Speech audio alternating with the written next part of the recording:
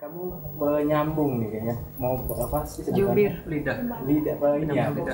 Menghubungi antara setia dengan penghubung. Penghubung. Alumni Universitas iya. Bung Karno. Ya. Ada ini inisiatif dirimu sendiri atau permintaan dari Saskia sendiri? Sahabat.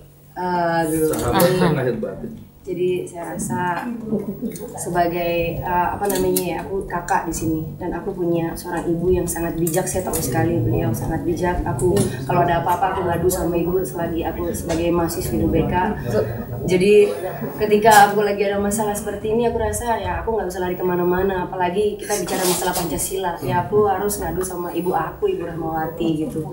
Dan kebetulan ini menyangkut juga di sahabat saya sangat related gitu.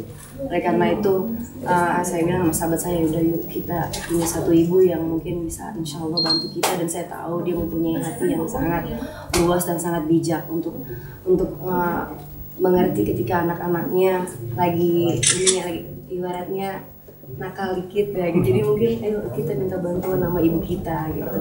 Sempat nonton berarti kan ada banyak berita yang yang Saskia Gotik versus Ibu Rahmawati. Oh ya Ya kan? Kemarin-kemarin lagi lagi panas-panas seperti itu ibu kamu ngelihat itu? Ya antara ibu, ibu kamu dengan adik kamu.